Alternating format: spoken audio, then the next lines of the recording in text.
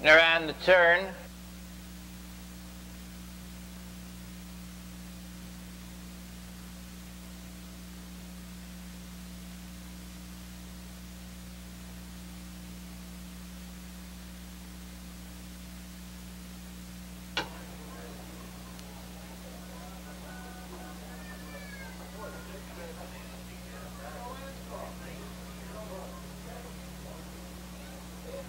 They're off.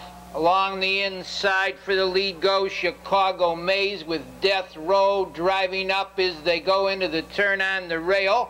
Star of Pisces with Little Jake and around the turn they go. On the front end on the outside taking the early lead to the quarter mile juncture. Chicago Maze, Star of Pisces is second.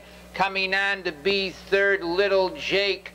They move down to the quarter, and little Jake takes the lead, racing second.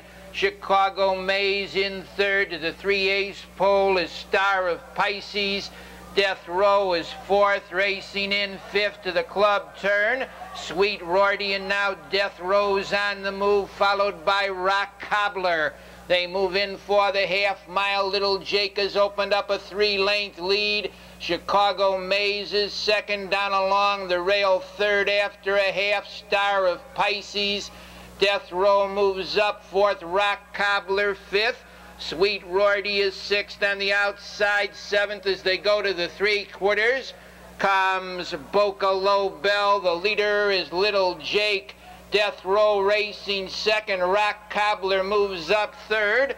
Racing under pressure along the rail, that Chicago Maze. Little Jake shows the way by two, racing in second round, the turn Death Row. Rock Cobbler gains ground third, Boca Low Bell moves up fourth. It's Little Jake, the leader on the outside. Rock Cobbler is second.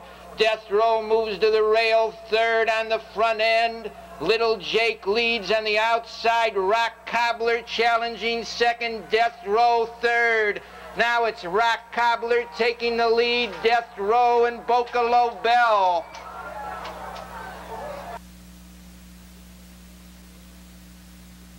Gentlemen, there's a loose...